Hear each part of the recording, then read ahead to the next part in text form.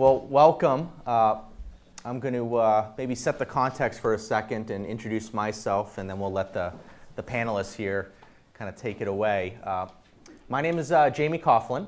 I'm new to the college as of last summer uh, when I joined uh, a newly established effort on behalf of the college known as the Office of Entrepreneurship and Technology Transfer, in which the institution is really thinking about and making a significant investment in, in, in innovation, entrepreneurship, kind of pan institution, students, faculty, staff, alums, the community, social ventures to for-profit ventures. And my responsibility uh, in this new office is to oversee new venture and incubation. So maybe a few of you have heard about the new innovation center that actually kind of beta launched today at Fort Currier Place. And so I'm uh, the director of that uh, new innovation center. So a lot of excitement really kind of brewing around entrepreneurship and innovation. And this panel tonight that Rocky has taken a leadership to organize the past few years now uh, will hopefully reveal to all of you just what is social entrepreneurship? How do we bring some definition to that world? For all of you that are maybe thinking about different ventures, how do you actually put that idea into action? And I'm joined by two just fabulous panelists today that, that hopefully, through their own experiences, trials and errors can maybe reveal to you all how they all went about it. My personal background, just as a quick, uh, quick uh, aside, was I was a really a product of higher education. I did my undergraduate at Princeton, so don't, don't hold it against me, in which, which I established a, uh, an educational technology company, built it with my roommate, ended up uh, growing it out of college, and ended up merging it with another company. So I'm really passionate and, and, uh, uh, excited that, that this platform here at Dartmouth College can really kind of be a, a gateway to exposing you all to, the, uh, to really the joys of, of, of entrepreneurship and, and, bringing ideas into action. So without further ado, how tonight's going to kind of operate is uh, Henrik here and Grace will kind of provide some introductions, and we're just going to enter into a conversation that, again, will hopefully unveil to you uh, a little bit more about uh, the topic and then really open it up all to you. We, we, we would love to make this kind of very uh, experiential in nature, interactive in nature, and, and, and, and, and listen to your questions and, and try to provide some you know, clarity to maybe the, uh, the thoughts and insights that you all can provide. So without further ado, Grace, why don't you kind of kick us off with just a little bit of a bio and sure. where you come from. Am I supposed to push this? I think you're, I think you're good. It's the We're green good? light, so okay. we'll take can it as go. Oh, awesome. Thank you. All right, hi, I'm Grace. Um, so it's a short bio. I'm actually from Singapore. I came to Boston five years ago now um, to do grad school. So I did chemical engineering um, back in Singapore. Came to Boston to do a degree in health sciences and technology. It's a joint PhD program between Harvard and MIT, and I graduated last week, which is great. Thanks. Um, so that's exciting. Um, but more exciting has been the past one and a half years where I've been organizing a program called Open Style Lab at MIT. And I certainly, you know, I was telling um, them just now that I don't come in with their years of experience, but I'm going to be sharing tonight a really personal story about how I formed Open Style Lab in the past one and a half years. What Open is, is a program that's designed to create clothing for people with disabilities. So this means people who are paralyzed or have amputations or arthritis or autism where they cannot dress independently or they just do not fit into the mainstream clothing that we wear. So what we're doing right now is teaming up students which are either designers, engineers, or occupational therapists, and we match them up with these clients with a disability. And over 10 weeks at MIT, we bring in all sorts of mentors and resources for them, and they prototype a solution for their clients. Um, so really, it's kind of like you can think of it as an incubator for innovative clothing solutions for this population that has largely been ignored by the fashion industry. Um, fashion industry has, you know, been a lot about the glamour and about looking good, and very few of us start to think about how functionality plays into clothing. How do you button a shirt with one hand? Or how do you put pants on over a prosthetic leg, which is wider than a normal leg? So those are the kind of questions that we're addressing. That's great. Henrik. Super cool. Hey guys. Are you awake? Yeah. cool. It's great to be back in Hanover. My name is Henrik, and I had the pleasure of being here last year as well, where I met uh, some of you. Uh, we did a two-day startup experience workshop where I took some of you through the entire journey of an entrepreneur in two days.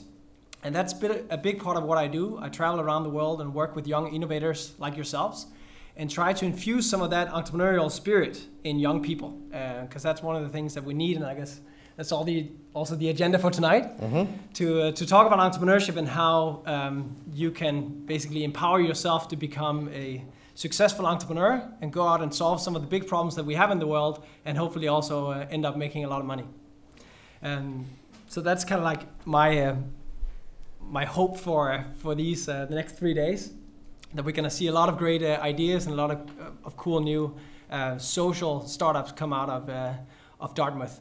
Um, my own background, um, I went to, um, to university in Denmark. I grew up in Denmark, a tiny little country up in the northern part of uh, Europe. Moved to Silicon Valley four years ago uh, after kind of having um, gone through five years of studying engineering. was involved with, I started a couple of companies during my engineering studies uh, one of them, kind of like the first one, was with a social focus, and we can maybe talk about that mm-hmm. a little later. Uh, crashed and burned big time due to uh, some unforeseen co-founder conflicts. Uh, the, the, biggest reason that startups fail is actually not because the product doesn't work or because people don't want to buy it. It's because the co-founders can't get along. Um, and in this case, my co-founder turned out to be a corrupt person who uh, stole all the money. Um, so that was an interesting um, experience, and I learned a lot from that. Um, then um, I founded another company, uh, Sputnik 5, that I exited before I then went to, uh, to Silicon Valley and have now spent the past four years immersing myself into this uh, very vibrant startup scene that you probably heard of in Silicon Valley. It's, a, it's an amazing, magical world where there's so many people with great ambitions, great ideas, and they're working super hard to change the world in one way or another. Um, so I thought it would be important to try to take some of those best practices from Silicon Valley and from other ecosystems and bring them to um, basically all the schools uh, around the world. So I spend a lot of time traveling to. Um, we've been to about 14 different countries now in five different on five different continents, uh, doing faculty training, so te- teaching teachers how to teach entrepreneurship, and working with the with students on how to transform problems into opportunities. Um, so I guess yeah, that's, that's great. A bit of my background. Yeah, I'm, I'm involved in, in a number of different startup projects, as many of you can probably um, you probably have the same problem. If you have that entrepreneurial mindset, you tend to get involved with a million things at a time. Uh, so it's kind of hard to focus. Um, but uh, I, I, try to focus most of my time on, on startup experience for the time being, and then I'm on the side, kind of looking at new tech projects yeah. as well. So one thing I would like to do for a moment and get your insights on is it's, it's create a baseline for the audience mm-hmm. on how you all actually define entrepreneurship. And maybe in the spirit of just the discussion tonight, how do you define social entrepreneurship? I, there's definitely excitement around entrepreneurship at a global, on a global scale. Uh, it's definitely increased the past 10 years. Uh, but I, I, think there is this, this ongoing challenge of how do you actually define it? Is it a skill set? Is it, is it a philosophy? Is it, is it just geared towards for profits? And so I'm just interested on, on how you all view and define it yourself. So, Grace, you want to? Sure. So I think I'll go first. So I think of it more as kind of like a process in which you're incentivizing lots of different players such that they can all collaborate to create value. And so in for profit companies, you're creating value, monetary value, you're creating profit, that's your goal for social entrepreneurship, I would just say that the only other thing that's added on top of that is there is a social outcome, there's some sort of social value that's created as well. And um, you know, if you look at the difference between just like social innovation versus social entrepreneurship, I would say that the difference is in that entrepreneurship, you're actually capitalizing on the market structure, that it can be sustainable within um, our current society's market structure to survive and sustain by itself. Yeah. Whereas, whereas innovation is slightly Whereas in, in, innovation, you wouldn't have to say capitalize on market structure so much. Yeah. And I think that's an important distinction because sometimes those terms, entrepreneurship, innovation, are one and the same, or they get blended. and I think it's I think it's you know there is a, there is that subtlety. So I'm glad you glad you mentioned Yeah. that, Grace. And you typically need some kind of innovation in order Yep. to be a successful entrepreneur. Yep. Um, I guess um, I think of entrepreneurs as uh, or entrepreneurship as a mindset, right? Entrepreneurs are those who don't just accept the way things are. They don't accept the status quo, but actually want to change things, either for themselves as an individual. I think the most important startup of all is the startup of you, as an individual.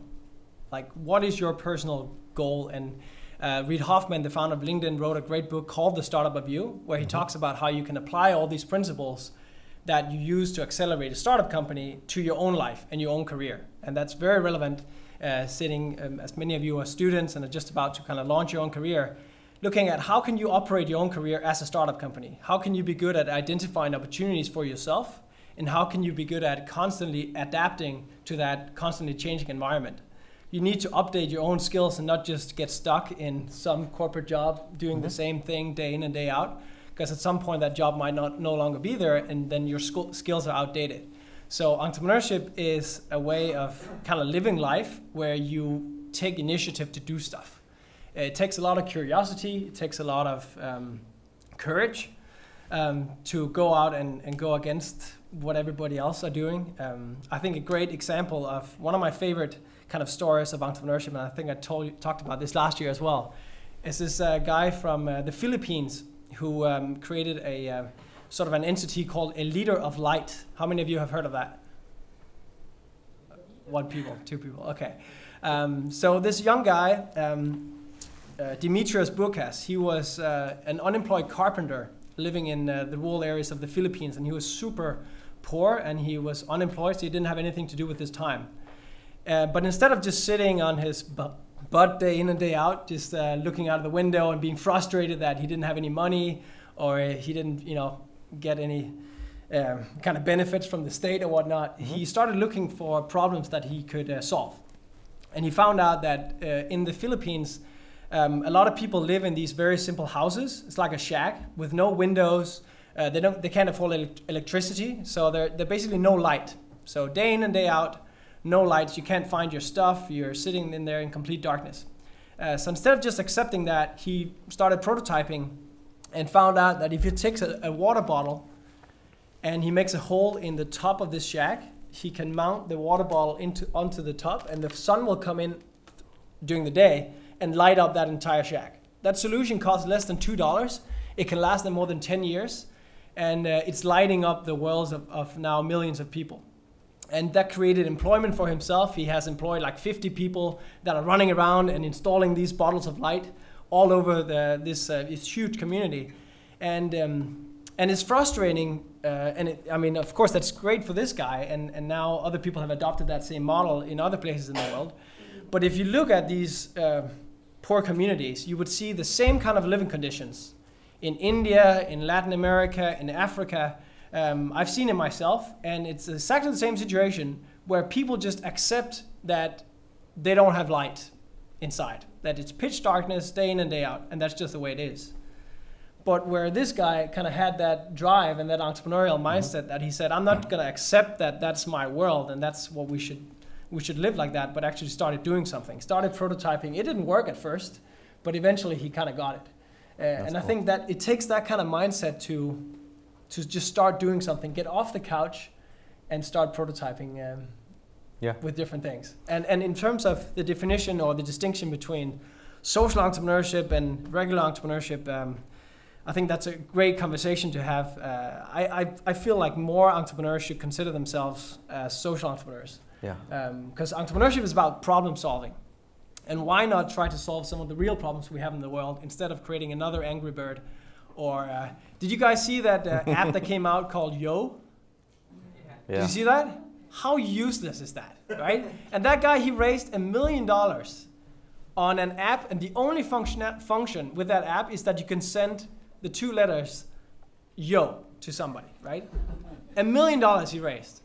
Like, and I've been like, there's so many big problems around the world. Why not try to uh, to solve some of those? So, instead? so I'm, ju- I'm just curious, as a, just a show of kind of hands, does most of the audience or has most of the audience thought of social entrepreneurship equal like nonprofit? So kind of, I guess maybe half and half. Yeah. Whereas, whereas I think you guys are all maybe just it, it's it's really again the the application of this philosophy or tool set of sorts, entrepreneurship, Yeah. to just social big problems that that, that the world's facing that can Yeah, be that's- that's benefited kind of a- through through that. yeah, if I can Yeah. just finish that, because that was actually where I was getting at that all entrepreneurship should be social in so fashion, because you're solving a problem, and the bigger the problem, the bigger the opportunity, right? And instead of wasting your energy, uh, your entrepreneurial energy on, on building another useless game or useless app, try to solve a real problem instead, and you will also make a lot more money and have a lot more impact. Um, and it's now finally starting to get more and more socially acceptable as well to make money while doing something good. It's interesting how this kind of stigma that we have around if you work for a social enterprise or an NGO, you're not allowed to get paid. But if you work on Wall Street, some people would argue creating less value than uh, working for, for a nonprofit foundation. It's perfectly fine and it's perfectly acceptable that you're making 500 grand a year, right? Nobody will argue against that. But if, if you're working in a nonprofit or in a social enterprise, trying to solve a real problem for disabled people or whatnot, and you, you're taking out, you know, anywhere more than, I don't know, 60, 70K a year, then uh, people are like, whoa, whoa, what are you doing, right? Taking that money that we're donating to you and, and paying yourself for that, that's not what we're in for. Uh, and that kind of mentality will just, you know, prevent people who are really talented or the most of the people who are really talented into going into to social projects. So I think that's a shame. Um, so more projects or more startups that do social innovation while also making money. I think that that's kind of like the way to go. And that's also what we're going to try to do over the next couple of days in the startup experience. We will create for-profit social ventures. So making money while doing something meaningful, doing something good, solving real problems. No, that's great. And I, and, I, and what really hits me, and, I, and I've heard this a lot just within the overall startup community, is the, the ability to, to or, or the inspiration to tackle and go after really big problems. Right, is I think something that hopefully all of you can kind of take today is, is, is that's what I think the world really could use. Some of those pe- those risk takers to go after some of those those those bigger problems. Yeah. How would you rate or c- compare social innovation, social entrepreneurship to something along the lines of changing culture? For example, sexual assault on campus. Well, we're not talking about like a nifty product or something like that, but actually changing culture. Is how is that connected? So the challenge with kind of addressing those types of problems is that it's very hard to make money doing stuff like that. Um, so you can set up, you will typically have to set up probably a nonprofit type of entity and get uh, grant money from a foundation, from a government sponsorship, from universities. Um, but you're not going to make a, a ton of money. Not that that's as important, but just thinking about that as an entrepreneur, it's um, Yeah. it's a, it's a challenge because it's not going to be a probably a very profitable entity. Um, And, and maybe it's not Yeah. so much, maybe I'll challenge it, maybe it's not so much making money as the potential sustainability of the effort. Right? If, if you are really passionate about the effort, you want to kind of sustain the, the, the cause and the impact of that. And, and that has to be tied to some sort of source to potentially fund the people, fund the, you know, the, the marketing of the effort, et cetera. Yeah, I think my question to you would be where are the costs in your project?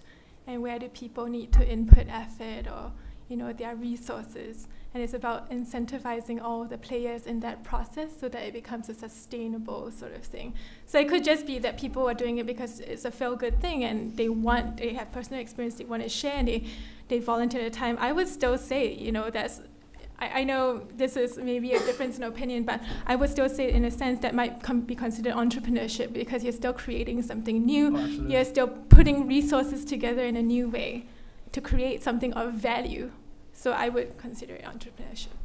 no, yeah, absolutely. And it, Yeah, no, a- a yeah, absolutely. Don't yeah, don't misunderstand me Yeah. there. I think it's just a question of if you really are passionate about it and want to make a change, you, you want that to go as long as possible, Yeah. and you want it to be as, as sustainable as long as possible. Yeah. Let's Yeah, just one go- yeah. kind of comment to add to that the whole kind of distinction between what is an entrepreneur and what is a social entrepreneur. And can it be the same? Sometimes, yes. Um, I mean, most of the times it, it takes an entrepreneur to be a good social entrepreneur as well. I guess the difference is that some entrepreneurs who are not socially minded uh, measure success on the bottom line. Whereas if you're a social entrepreneur, your key kind of success metrics will be impact potential. Like how much impact can I create? And if that's your driver, that's your passion, um, then that's phenomenal. And then focus on that. But you're probably going to be struggle, struggling on the financial side. Um, and then we have this kind of combination, this hybrid, where you're a for-profit social venture.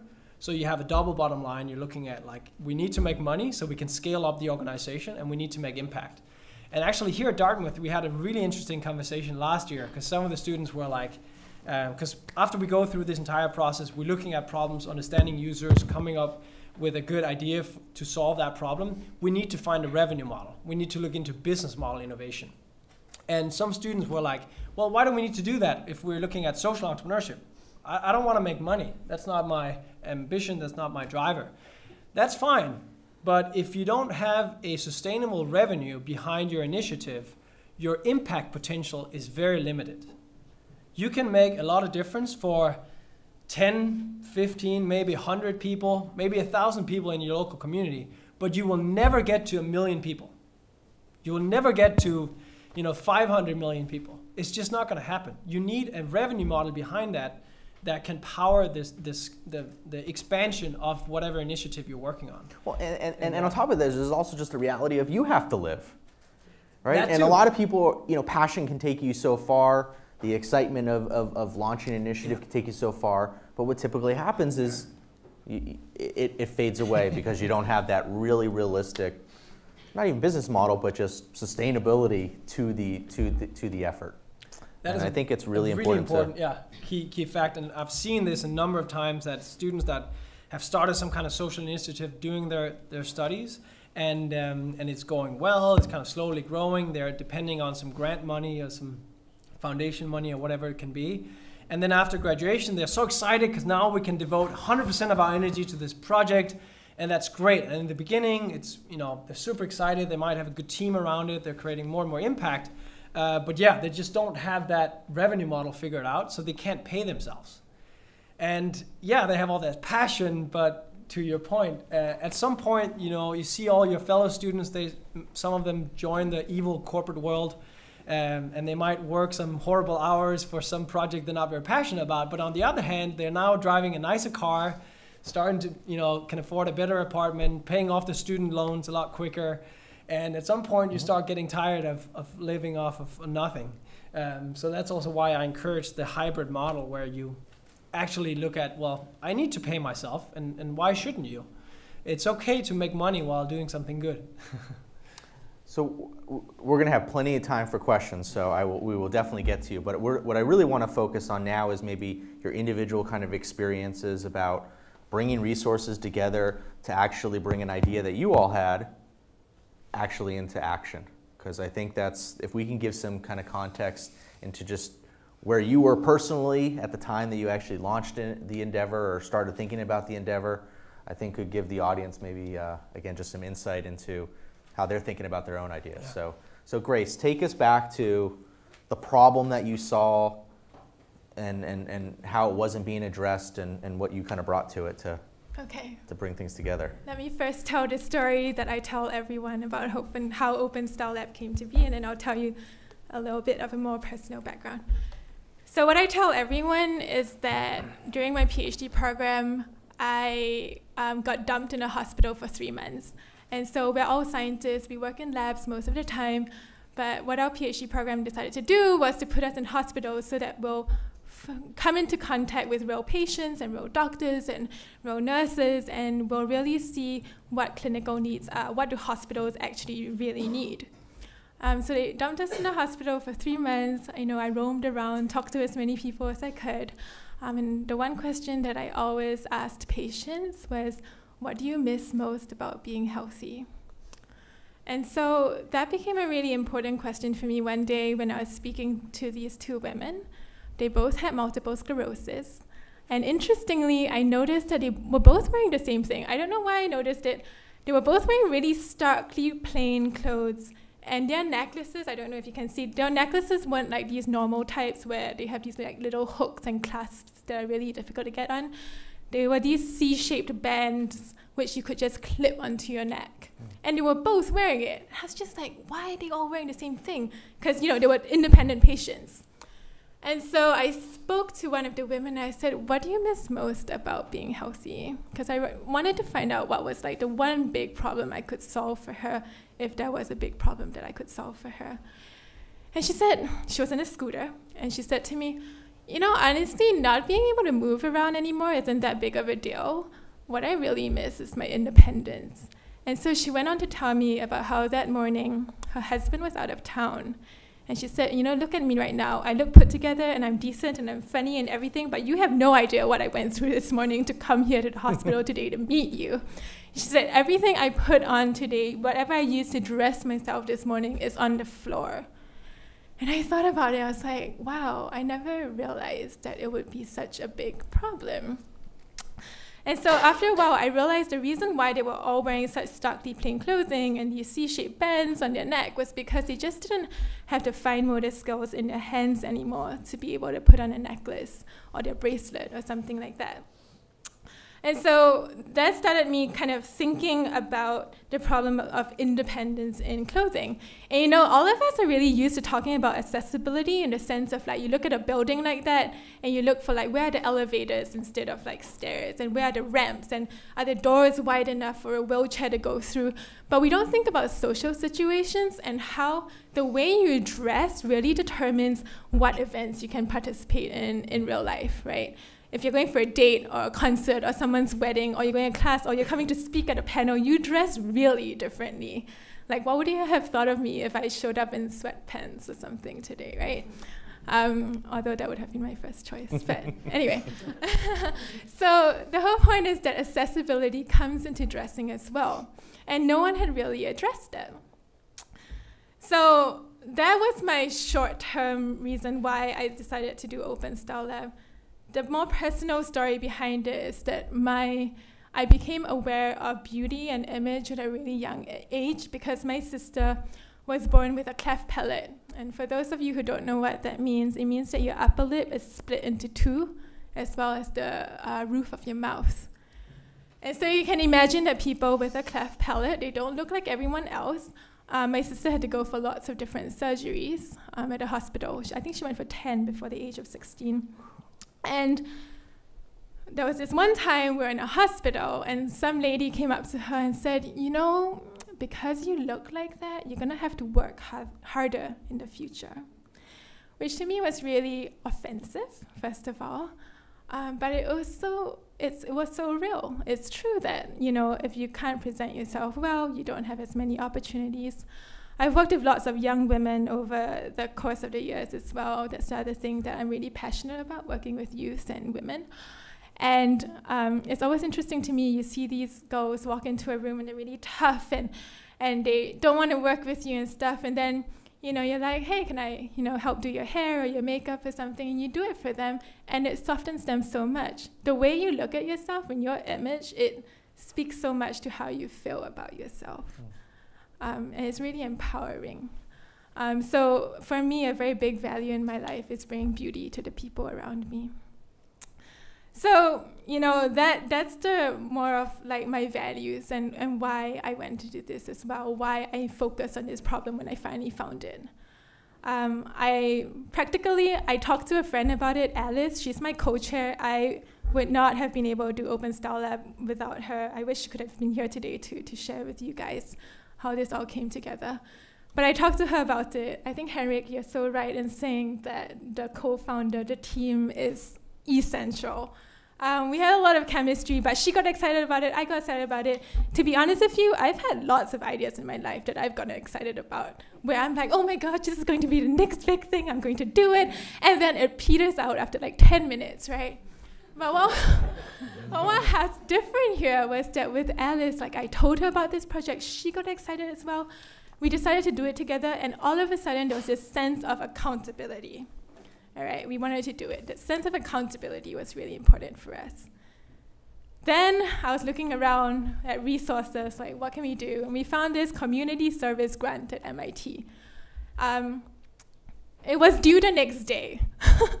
so I pulled an all nighter, stayed up, and wrote this entire grant, 10 page grant for it. Um, kind of, you know, like there were lots of things that I didn't know I was going to do until I wrote it out on a piece of paper.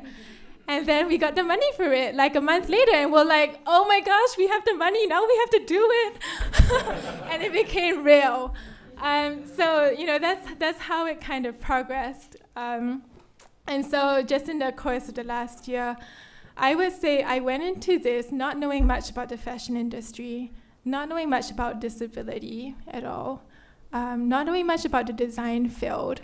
Um, but for me, I think a really big thing was learning how to learn, like knowing how to learn, um, and being able to just ask people for help.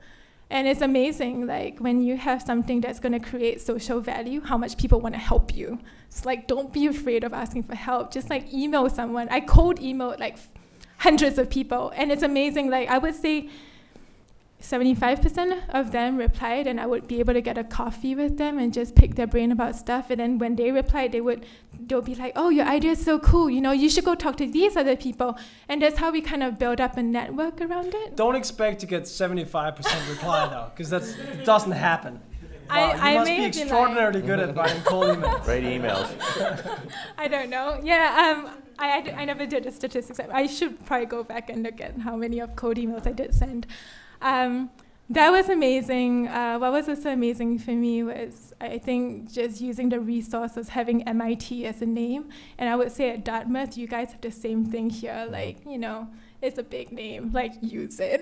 People would love to say, yeah, I'm working with some students at Dartmouth to create this new venture. Yeah, it sounds great for them.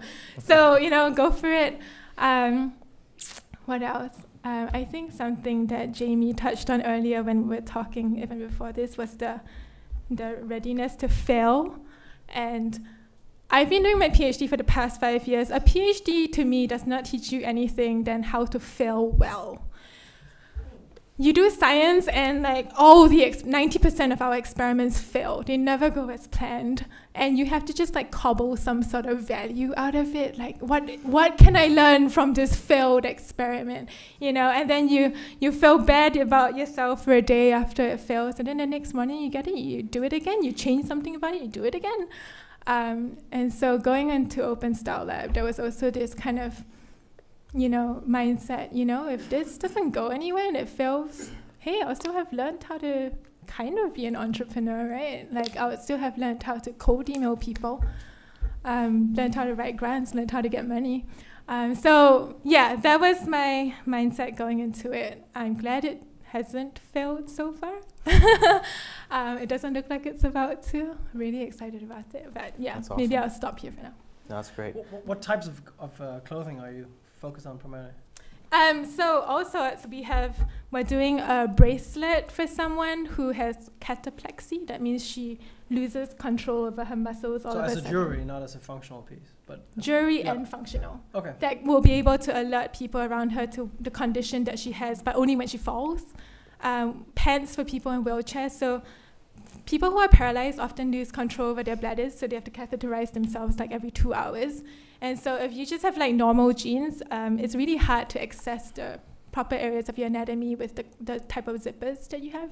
Um, so zipper placement is really important. I talked a little bit about prosthetics just now, um, and um, how for a lot of people their prosthetic legs or arms are usually wider than the actual pen legs that um, are, are sewn into mainstream pants.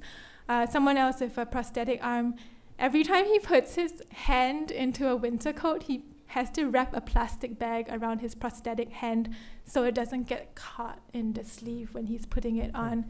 And another thing about entrepreneurship, I would say, um, looking for the problems that you can solve, look at where people are like hacking out solutions. Like a plastic bag is a hack, and it doesn't have to be like that. You can design something better than that so that they don't have to use a plastic bag. So I'm gonna jump in, Grace, because I think that's one of the biggest insights that I've just taken from your story is you know, you're a scientist used to the lab, you're thrown into this situation where you're working at a hospital, but you start asking questions of potential like users and customers.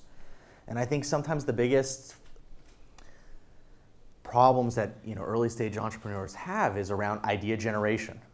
They kind of create an idea or a new venture within kind of the confines of their own world.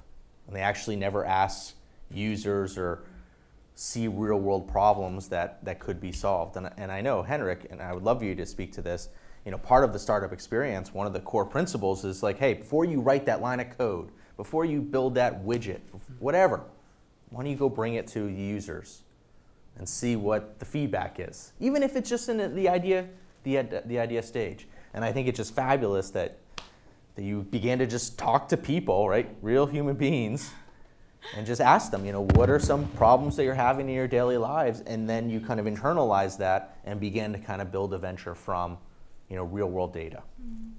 Yeah, definitely. One of the the key things as an entrepreneur is to make sure you're actually dealing with a real problem.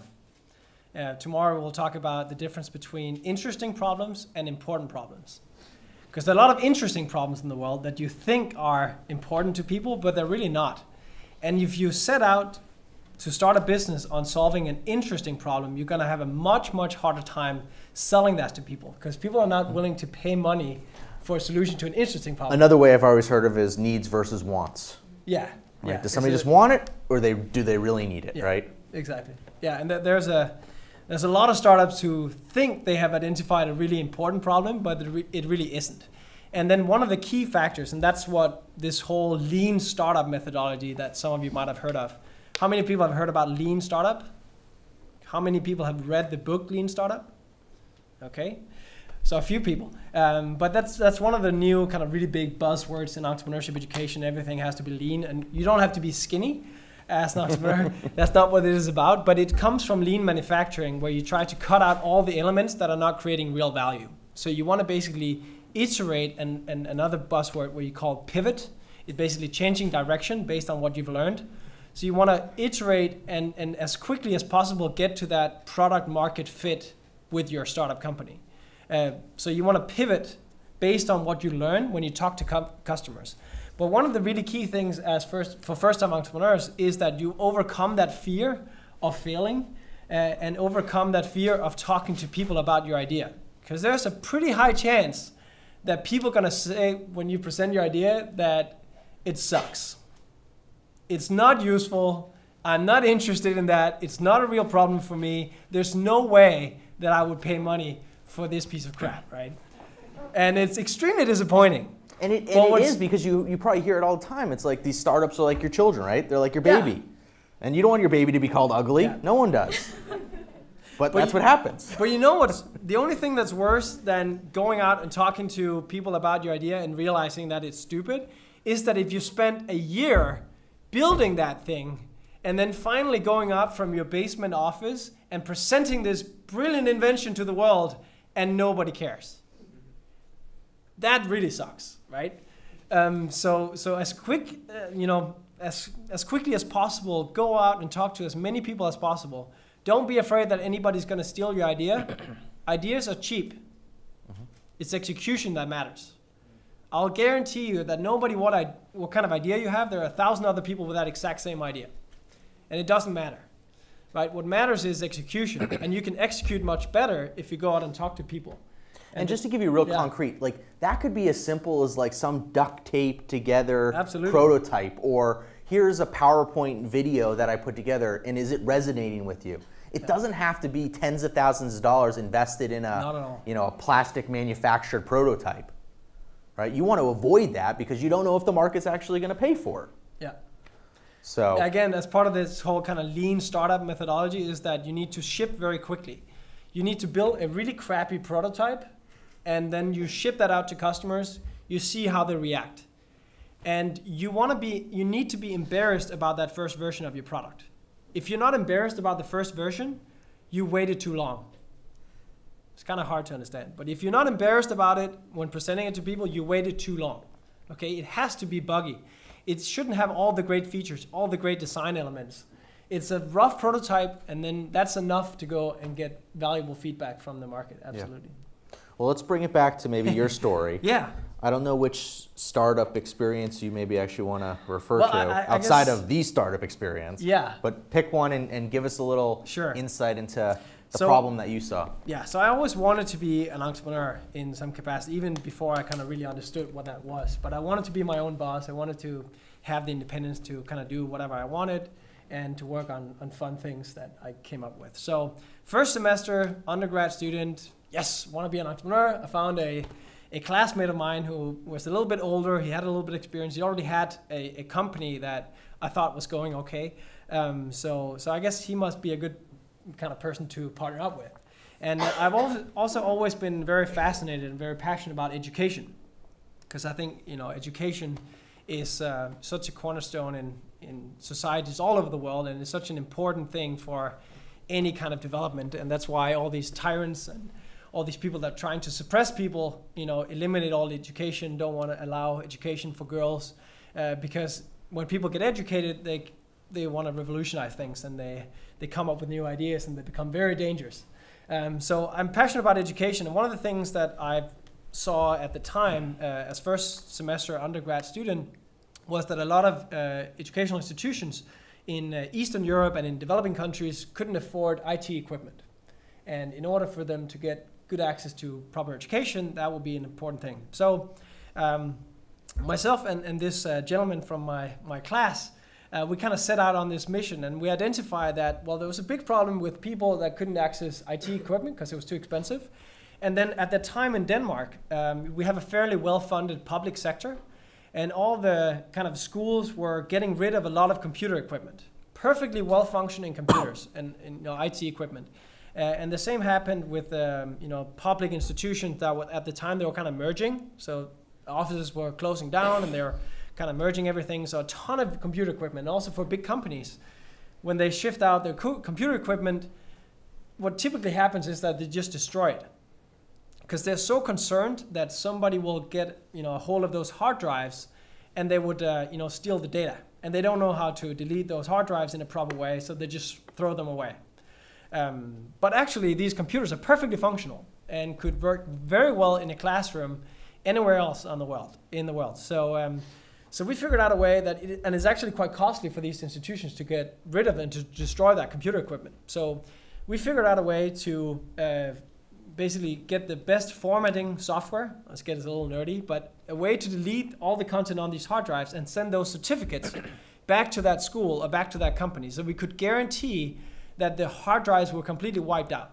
So they would actually pay us to come and collect all that IT equipment and then we could format the hard drives, and then we could resell that computer equipment at a super discounted rate to schools uh, in, in developing countries and, and Eastern Europe. Uh, so we thought that was kind of cool, and we got the first order, and uh, you know, as you know, undergrad students were really excited. It was about thirty thousand dollars. It was like a lot of money. So we hired some student workers. We rented a big truck and you know drove over across Denmark. It's not a very big country, but still took like four or five hours. and then all night, kind of you know grabbed all these computers into the truck, drove back, and then uh, night and weekends we were kind of working to delete all these hard drives, and finally sold them and shipped them off to, I think it was Lithuania over in Eastern Europe. Uh, very very excited great. And we got that money into the bank, and I was really excited because now we could finally afford, you know, a better, uh, you know, location where we could ramp off the ramp up the the whole production and all that.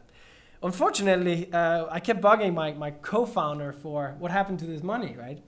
Um, so c- can we start investing now? Can we sign this lease now? And he kind of avoided me. Uh, so at some point, I had to confront him and like, what happened to this money, right? Because we did the first deal in his company because it was already set up. And then after we got the money, I thought we could then establish an entity where we had 50 50 ownership. Unfortunately, the money was gone. Uh, it turns out that he was already bankrupt with this entity, uh, with his company, and that he owed a ton of money to the bank and to other investors and to other clients of his. Um, so it ended up in a bad lawsuit, and he got kind of kicked out of the university. And yeah, I learned the hard way that you you want to find people to work with that have uh, integrity. Right? We're going to talk more about the co, you know, co-founders and the founding team of a startup. What's important? There are kind of three factors: intelligence, drive, and integrity. And which one is more important? Integrity, right?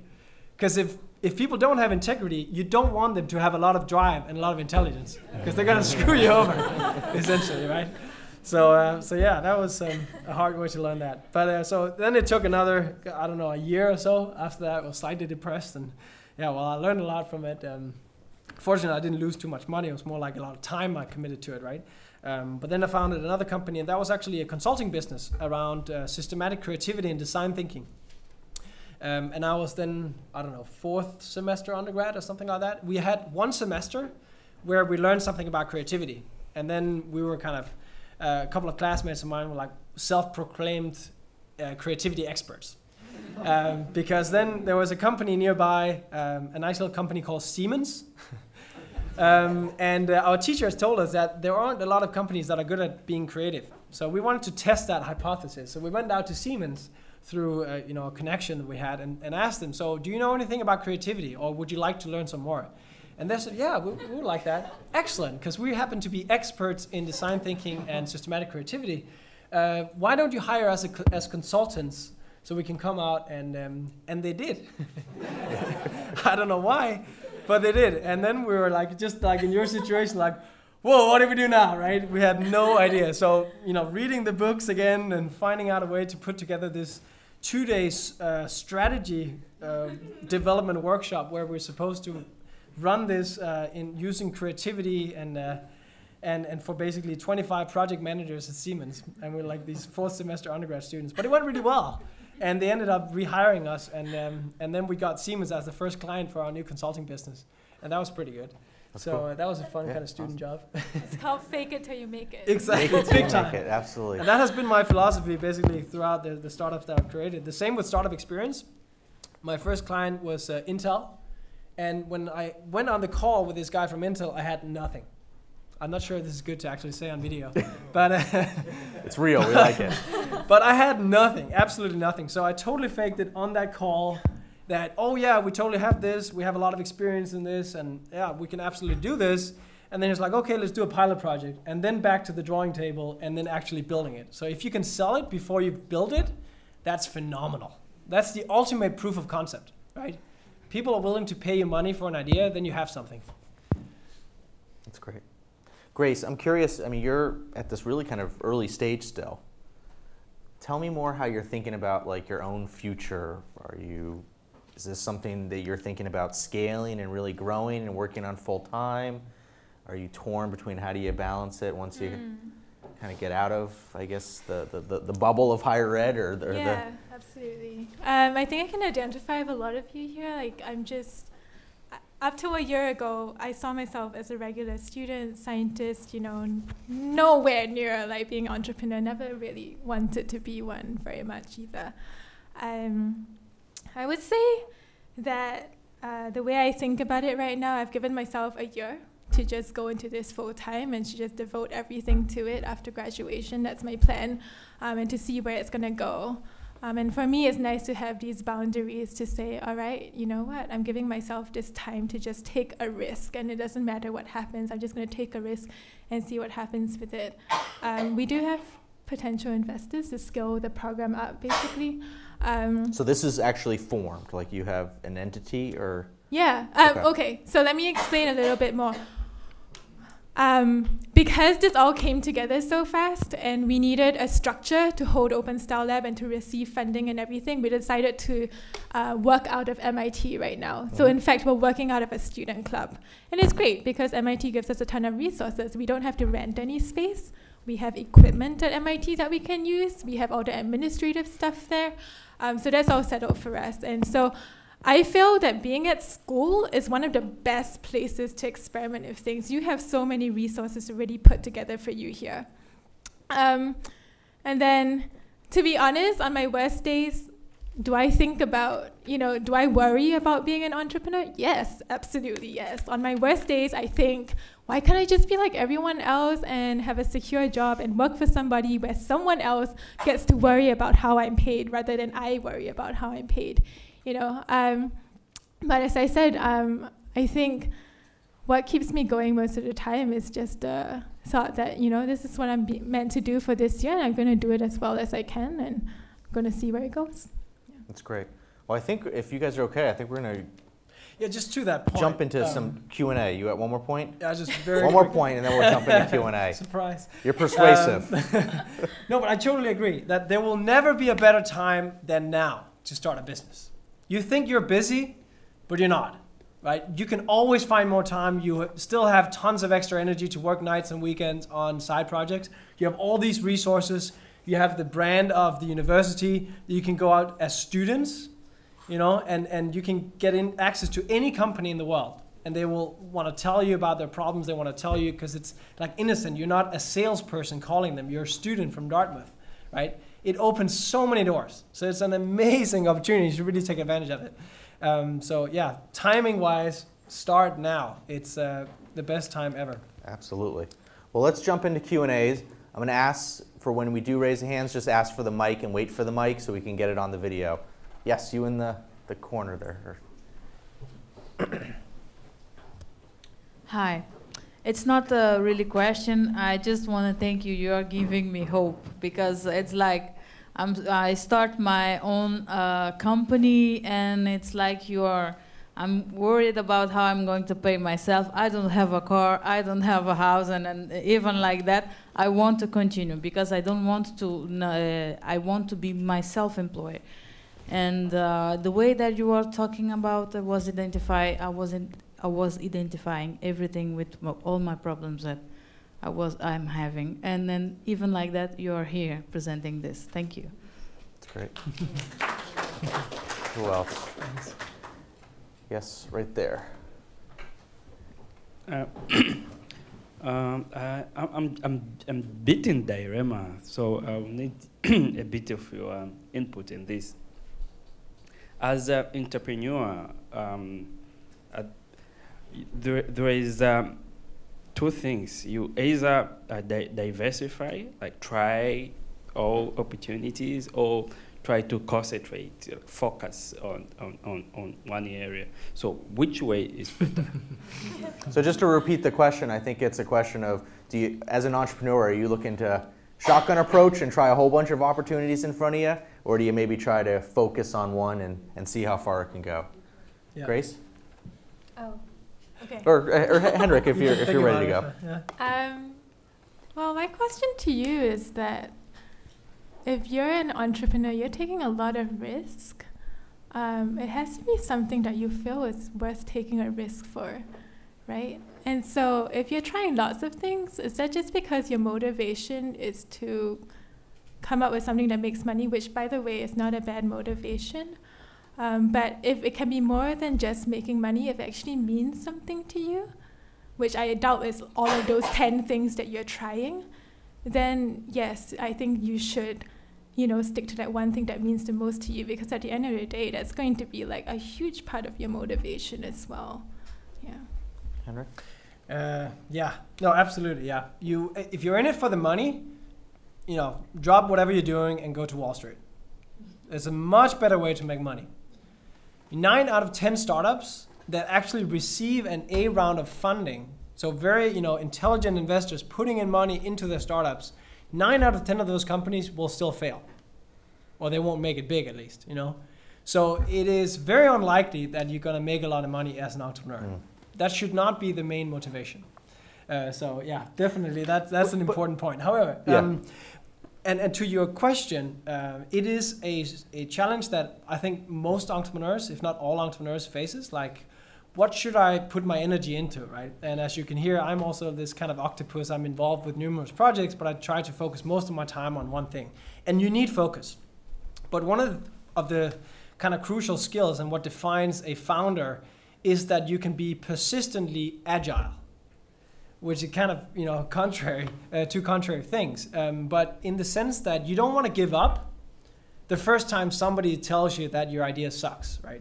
If, if that was the case, then nobody will ever would ever succeed, right? Because you need to have that confidence and that persistence um, to to continue working on ideas, even though people think it's stupid and they don't get it. Most companies were started that way. However, if you've talked to a thousand potential customers and none of them like the idea, you might want to you know rethink at least certain components and start you know be, being more agile and adapting to whatever market you're you're looking into. Uh, so it is. It's a very. You're probably not going to like that answer, right? But it, it's a difficult I, balance. Yeah, and, I do think you have to be very enough, yeah. very careful around this notion that ideas are a dime a dozen. It really does result in the ultimate execution. And from personal experience, the first time I ever launched my first startup, and you hit that first challenge, that's when all the other ideas you've ever had start pouring in. And you think, you know, why am I wasting my time on this thing when this thing's so much better? And it isn't, right? It's just you've hurt, hit that first obstacle and you have to kind of be persistent and focused. So Yeah. I do think focus is a really critical element to the startup journey. Andrew. So I have a, a question. It relates to the one that was just asked about a little bit of diversification. And the example is, Grace, when you speak about the projects that you're working on, you tend to give us very hard problems, custom, not a very big market. But, and I use this advisedly because I hate the jargon, but you have a potential disruptive technology. Because now when I think about these issues, well, I don't have any of these conditions, so I don't need those clothes. Fine.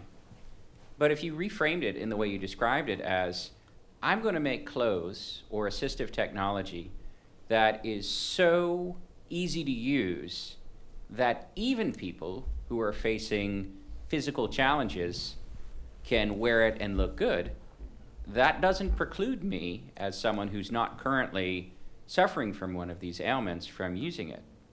And so I sort of think that, and I presume you're doing this, but I think you're going to have several things that emerge from your lab that have a larger market than just those who are facing physical challenges now. And you will achieve scale, you will make money, and then you will use that to cross subsidize what's really got you going, which are these really hard problems like the prosthetic limbs, uh, the folks who need the catheterization, uh, and, and the like. And so I think embedded in lots of business ideas is this notion that you have to find a cross subsidy. You have to find something that makes you the money so you can transfer it uh, to the things that really drive the creativity. Yeah, thanks for Well- pointing that out. Well said. And I think that goes around the, this business model reality, right? It's may, and, and maybe you haven't hit this yet, but once you get to a point where you say, how am I going to sustain myself, my team, the people around me? Maybe that's when you start taking into consideration how can I broaden the scope because my initial market is just way too small. Absolutely. Yeah, in fact, if I may just address your point, which I completely agree with, one of the things we tell our students is to focus on universal design, which means that you, you're designing, yes, for people with disabilities, but it's even better when you're designing for all people, including people with disabilities, because then your market like expands to everyone. And one of the best products that has come out recently that completely jives with this whole principle of universal design is called the MagZip. I don't know how many of you here are consumers of Under Armour, but Under Armour just licensed it. MagZip is basically, you know how like when you're using a zip on your jacket, you kind of have to fiddle with it to like insert the bottom part before you can pull it up. So it takes out that whole filling part. It's a magnet. It just you you simply bring it together and it That's awesome. clicks together, and then you just pull it out with one hand. So anyone with even just one hand can use a zip. Now the people who first designed it was an occupational therapist and an engineer designing for their brother who had a disability and had only one hand to use. But obviously, when Under Armour saw it, they were like, whoa, anyone can use this technology. This is awesome. Like, you know, you're out skiing, you don't want to take, up your, take off your gloves to, like, you know, do up that zip thing. You just use the mag zip instead. And so right now, they're doing That's it cool. for all of Under Armour's stuff. They're doing it for, I believe, um, these Good. covers for boats and yachts and things like that. Anything that's like hard to zip, basically. And so, yeah, it's a great principle. Thank you so much for. W- Sir. Would you, would you recommend people doing this straight out of school? I mean, it strikes me that liberal arts education is wonderful for creativity. You can imagine things. But when you get out in the real world, you got to hire people, you got to fire people, you got to set budgets, you got to do marketing, you got to deal with innumerable vendors, and there's lots of terrible lawyers and architects and HVAC contractors, and you name it out there. Would it not be better to finish school and go work in a real job for a couple of years, possibly a small business where you see all sorts of sides of things, and then go out and, as you said, execute on these wonderful ideas? Because it is true that it's the execution that's the toughest.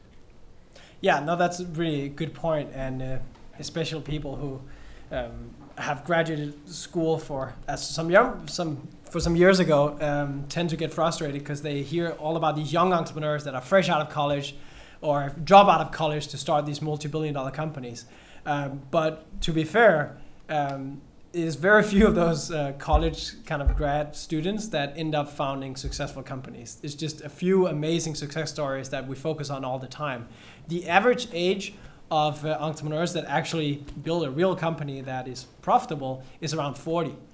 Um, so it's it's not these you know 20 something entrepreneurs that sit in a dorm room and hack on some random thing that typically make it. So yeah, that, that can be a good point, and I think so. Most of those companies that actually you know turn out to become profitable uh, are from people that have been in an industry, understand the industry, have the network, and really see you know a, a great need in that industry, and can um, based on that experience and that network and that knowledge, then come up with a with a new idea on how to disrupt um, that particular industry. So yeah, th- that it can be either way, but I think I mean the sooner that you start, the better, because you will start building up some of that entrepreneurial confidence and. And the more times you train yourself into doing customer validation, talking to potential users of your product, uh, it is a skill that you can train and you can get better and better and better. And the more you practice, the more you learn, the better you get. So then when you see a real opportunity and you might do this, you know, side by side with, with having a full-time job, you start experimenting with different things. And then when the time comes, because you've, you know, failed with, I don't know, seven different projects uh, along the, the time as side projects, you have the expertise to, to really execute well when that idea comes up. But yeah, age is, is really not a, um, a barrier, either being too young or too old. Um, but I would say, yeah, it, it can definitely be an advantage to understand an industry well. Um, you talked about the importance of finding a co-founder that you can work well with, especially since like you can work off from each other, give each other energy. What advice would you give to like you know find someone that you know you can work really well and even like assemble a team that can execute the startup? What about, on, on how to find those people, or how to evaluate whether they're the right fit? Yeah. I mean, it's a really tricky thing, right? Because one of the things we, we'll talk more about the startup um, team formation and and figuring out how to have you know have co-founders that have drive, intelligence, and Integrity. integrity, right? Most importantly, and so know that you're working with people that you can trust, um, but also people who have complementary skill sets. And that's one of the key things. A lot of people, you know, found a company with their classmates, uh, and that can be good because you're on the same page, you have the same kind of thinking, you might have gone through the same experience. So it's very easy to relate to each other, and you're best friends and all that stuff. However, it might not be the best for the startup because in order to have a good founding team, and a founding team shouldn't be very big. A founding team, the ideal size of a founding team is around three, three co-founders, three or four. Um, and in that, you know, little team, you should have a good representation of many different skills. In every startup team, you need a hacker, a hustler, and an artist.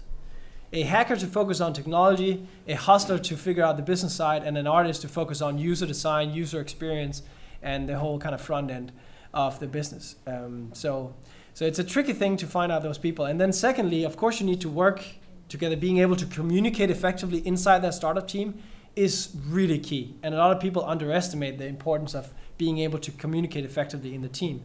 Uh, one of the best things to do uh, if you have people that you think you want to work with is to participate in one of these startup weekend events or like a startup experience type of, of event where you go through a very intense process where you have to work on solving a problem and you're under a lot of constraints on a lot of time pressure then you really get to work with each other and see how people act under stress um, or work on if you have that side project uh, then work you know commit weekends and, and nights during the week and, and try to work hard. Then you will figure out if they're as committed as you are. Um, and then when you form that entity and you decide to start a company you want to have a vesting schedule. And now we're getting a little technical but that essentially means that you don't own the equity the stocks of your company from day one if you're four co-founders, it's very tempting to say, "Hey, the best way to split this company is 25% to each," hmm. because we're already passionate about it. We already want to work hard. But guess what? See you, Henrik. year- I'm going to Wall Street. Thanks for my 25%. exactly. Yeah. That's what ha- yeah. And then you're out of here, and now we have a company where 25% of our of our stock, of our activity, is passive. It's not. He's not working with us anymore, but we can't do anything because he owns that 25%. That, that you basically have to close down that company because no investor would invest in a startup where 25% of the equity is passive. It's just not going to happen. So very important to not have, you know, just divide that equity from day one, but have a vesting schedule, meaning that you own earn that equity up over time. And in, within the first six months or within the first year, nobody has any equity. But after a year, you finally actually start owning that equity. But that that means that you don't when after that year and you feel like one of the partners is actually down to working half time because now he had a, a baby or whatnot, and another partner is, is only working you know 85% because he also wants to do another project, uh, and then you can divide the equity you know fairly. Um, so that, that's that's it's a tricky thing, you know, figuring out how co-founders work well. Um, but the, the equity structure is definitely important. That's a root yeah. for many many startup teams that break up. And I would just add as a, as a plug to incubators and our new innovation center, I mean, these are the power of these, these environments as they really become a hub. And when done, done correctly, the people that actually occupy those environments are very diverse, right? So you'll have technical oriented people, business oriented people, yep. the artistic, liberal arts oriented people. And that's the, that, those are the environments that you all want to put yourselves in because you don't know who you'll get introduced to or who you'll bump into to either start a venture or bring on a team member. So I think that's really critical for you all to be on the on the lookout for those types of groupings uh, because you can really find really good people there. Yeah. Grace, did you have a comment or? Just one. Yeah, comment. go for it, and then we'll. Um, I just wanted to say that I don't think that having a good relationship with co-founders or teammates is that different from having a good relationship with anyone. Um, one of the key principles that Alice and I had while being co founders was that if there's a really tiny issue, we had to talk about it before it. It's really easy to kind of like pretend that nothing is wrong and just keep going sometimes until like things kind of build up. Um, and so to give you an example that's kind of embarrassing for me, but I think it's helpful. Alice and I usually take meetings together, which means that we both are present when we meet a new investor or a new partner or something like that. And she's a little bit more outgoing than I am, and so she would tend to talk more. And it started to bug me, it really did. And I was like, why is she getting so much talk time at these meetings? And mm-hmm. like, I'm not getting to talk at all. You know, what if they think it's all her idea when really it's a lot of my idea? And so there are a lot of these like selfish motivations that just come out when you're working with someone so closely every single day and it's stressful, right? Um, and so this is a conversation that I had to have with her, you know, just talk it out. I'd be like, hey, Alice, do you think like maybe, like, I just feel that I'm not getting, well, I feel like sometimes I'm not being credited a lot, which is really embarrassing, right? To be so vulnerable with someone. Mm-hmm. But I think really that's how you build trust with people, and it's the same way in any relationship. Yeah. That's really well said. Yeah, thanks it, for sharing. It, it's, you see it more often than not, so you're not alone, trust me. I had a question up there. Yes, um, it's more of a comment than a, um, a question. Um, before I say anything, my name is Kulegani Msweli, and I'm from the Kingdom of Swaziland. And I direct um, and own a design company which has its core emphasis in fashion and furniture and art. So primarily, it's within a high-end bracket. And it's been interesting um, discussing the issues of um, social entrepreneurship um, because my company, in a way, it started out of my own passion of, you know, and values in life, the things I like, I enjoy, and believe in. But as the years have gone on, um, it's more or less directed itself into incorporating a social element, which was not the core, really, emphasis of it. But in how I've conducted it, it has become quite social in that just to make um, an example whereby um, and also to probably remove a certain notion where um, from mainly being in a high-end fashion environment where it's considered a lot of time to be it's an industry where yeah we create amazing products but what but there's so much which um, goes on which i've realized with my company where for example, we make um, accessories, for example, the one I'm wearing, which is made out of jac uh, jacaranda trees. And jacaranda trees in Swaziland are an alien species. So when I started um, coming up with concepts of um, an accessory line, I looked at the envir- environmental issues within the country. And the trees were, you know, the aliens invasive species were quite an issue. And then we also have a huge issue on litter.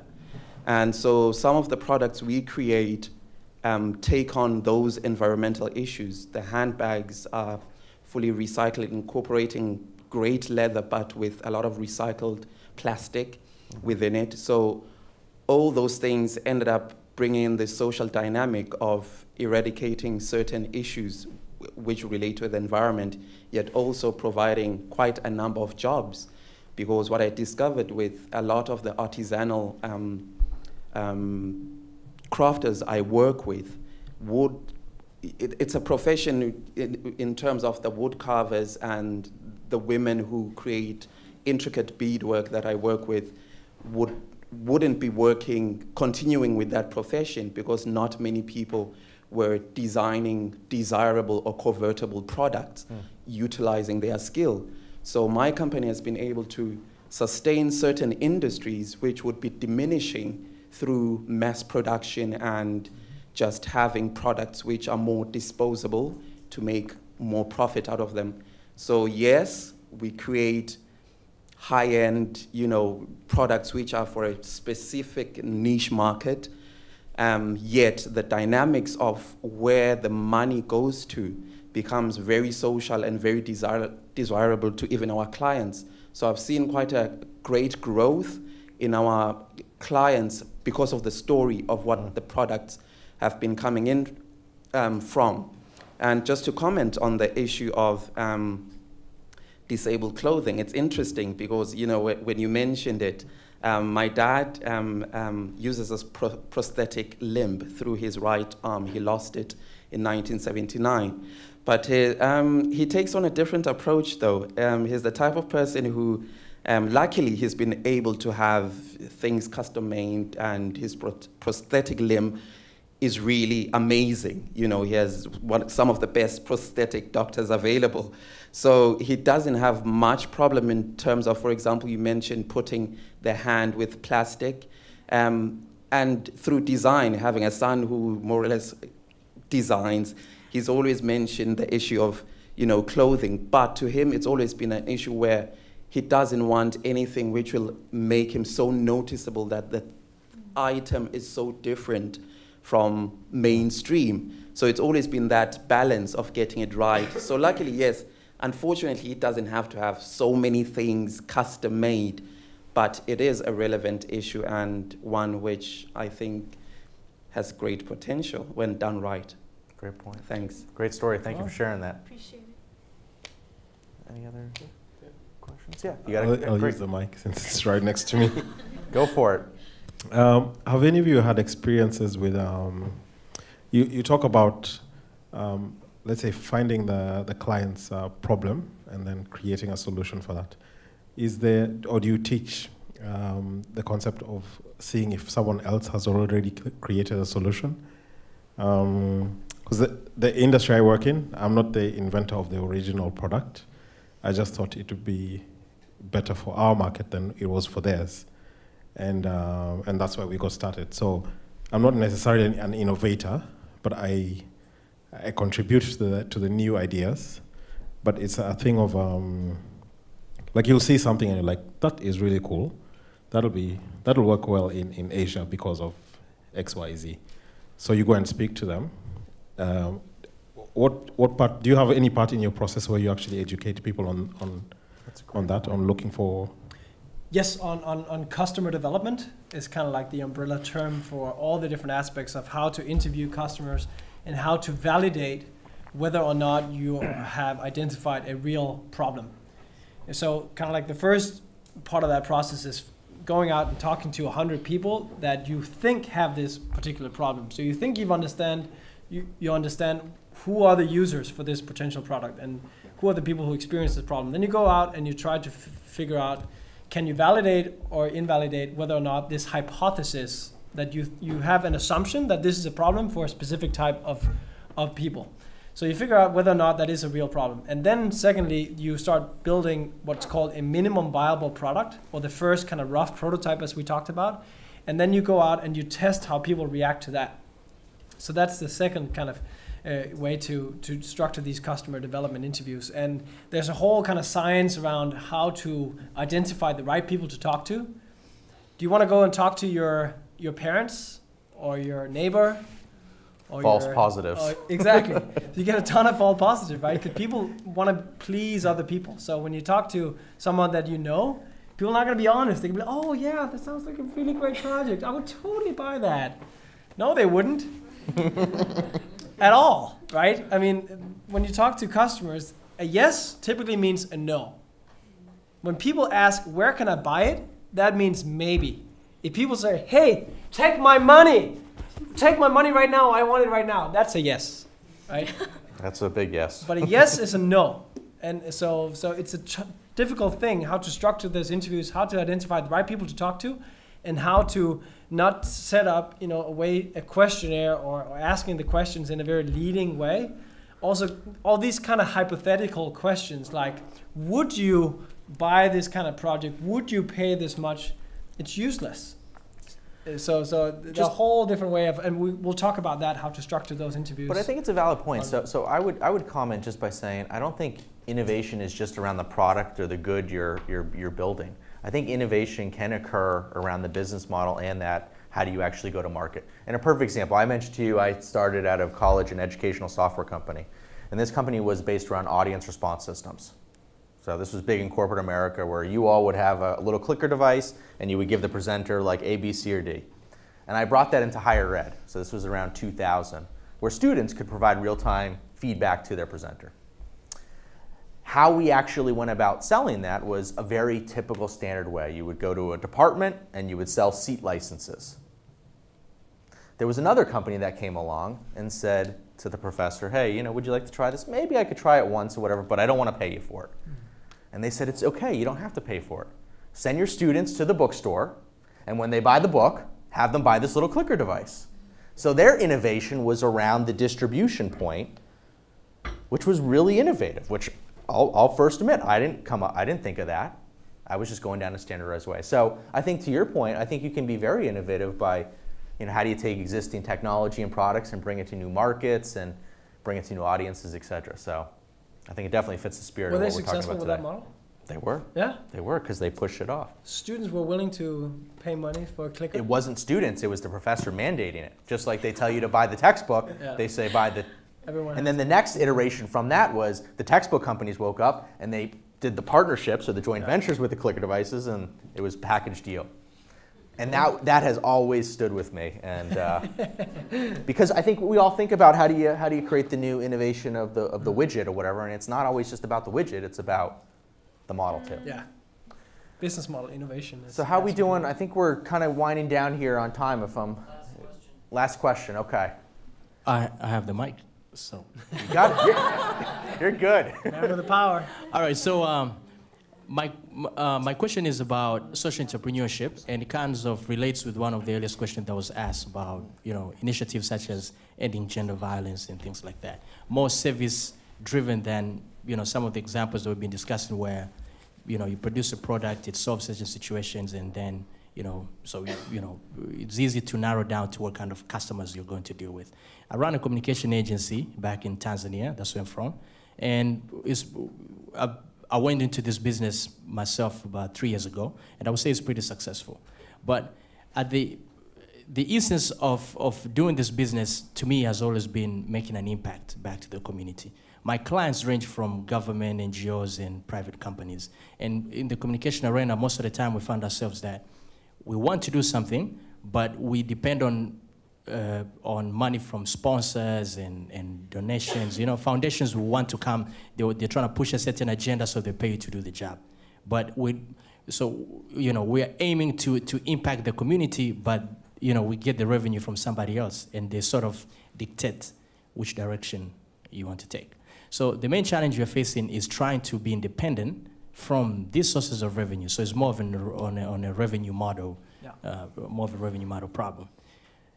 Do you have any examples that they may not necessarily be on a situation like this, but around the service-driven kind of business than, than, than a product-driven business that have have sort of like come up with with with uh, sustainable revenue models that we can learn from.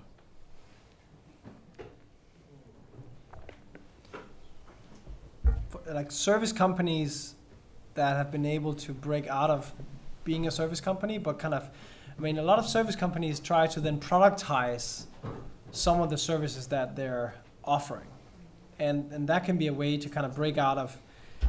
Um, Chasing hours. ch- chasing hours, right? Because if you're exchanging hours for money, you're never going to scale tremendously, right? You can have a, a nice, profitable consulting business, but it's never going to scale, really. So you need to break out of that somehow, and that can one way of doing that is trying to produ- productize, trying to automate some of those services, um, and and kind of experimenting with that. And, and usually, what, Yeah. what what what service providers are really good at are, is generating like or is being a thought leader, producing some sort of content that's that's unique and different. And I think that's what Henrik's is, is is referring to. Is that can be that can be packaged up and sold. For example, as as a podcast or an ebook or whatever, Mhm. right? That can be sold 24/7 while you sleep. Uh, and those are just Yeah, no, yeah, exactly. What what type of communication business? It seems like is it like a public service kind of, uh, or, so like So- marketing or Yeah, typically we, we, we design or we, we, we design communi- uh, campaigns. So uh, the nature of the campaigns could be uh, commercial for companies, which would be more of advertising. Yeah. Yeah. So we develop the messages, the, we build up the content, and we, we do media planning and sort of like gain the message out there. Yeah. For governments, they could be doing the same. They could have political or social marketing, you know, objectives that they have. Yeah. Yeah. So, so the goal here is, you know, we're looking at things typically like creating a platform, for example, for, for, for young people to be able to engage and voice their, their you know, their issues and things like that. But in the country, no one really, you know, supports uh, an agenda or rather a platform which, you know, doesn't seem to be working in his favor. So companies will want to, to, to advertise. So as long as they're not pushing advertising, they're not spending money. Governments, if you touch issues that sort of like, you know, uh, puts them in question, they, that's not something they advertise. But the youth want to do it. But the revenue now from the, from, from, from, from the audience is very minimal to sustain, you know, pay our staff and things like that. But you're on the right path, right? Because if you can create some kind of platform so that you can position yourself uh, in a way where you own the channel and you are the go to place where you can basically facilitate the most efficient kind of communication from whatever ven- vendor is. You might want to specialize in one specific industry to begin with, but if you can own that channel, then people are going to come to you because they're going to get the best bang for their buck, right? Here, here's a here's a perfect example, and it's Dartmouth related. There was a there was a Dartmouth senior that just graduated that created a company called Promote You, and you can check it out. In which large brands like the Coca Colas of the world wanted to basically engage with undergraduates and, and young people to to communicate their brands. And he basically created a platform that would allow these large companies to hire and manage like student ambassadors to push their brand. So that's a very, you know, that's owning the channel, but in a, in a product format where they actually created a web platform to help manage that process. because then you you can start automating things, right? So instead of sending out a million flyers, you have the system in place now where you just click a button, and then it automatically goes out to, you know, a million relevant people. Exactly. Uh, and then you can start. You can charge a higher premium, plus you don't have to. You you have automated the whole thing. So it takes you know of course some money to build that machine, but as soon Mhm. as you have it, then. Uh, that that's m- much more scalable, and uh, and you can start getting some sleep money instead of exchanging time Yeah, for money. Yeah. Absolutely. Well, before we wrap up, I just want to acknowledge and welcome the Young African Leadership Initiative that I think is here for a few weeks to kind of go through almost a boot camp workshop series around entrepreneurship. So let's just give a round of applause for them coming here. And we look forward, the entire campus, to welcoming you, engaging with you. Uh, you guys were definitely part of this discussion tonight, so thank you very much. Uh, and uh, and please just you know let me let's have a round of applause for Henrik and Grace. Thank you, guys. And again, uh, I mean, I obviously highly encourage you to stay engaged if you have an idea or thinking about entrepreneurship. I mean, through series like this from the Rockefeller Center to the New Innovation Center, Dartmouth Pan Institution is making a real commitment to supporting, again, students, faculty, staff, community uh, around entrepreneurship. So don't just simply stay on the sidelines, get engaged, and I think you'll be pleasantly surprised at the amount of resources and people that are just willing to help you along the way. So, so thank you again for your participation, and we'll see you soon. Thank you, guys.